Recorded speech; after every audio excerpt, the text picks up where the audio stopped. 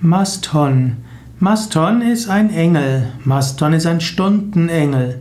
Maston ist ein Engel der fünften Stunde der Nacht. So ist Maston einer der Schutzengel der Nacht.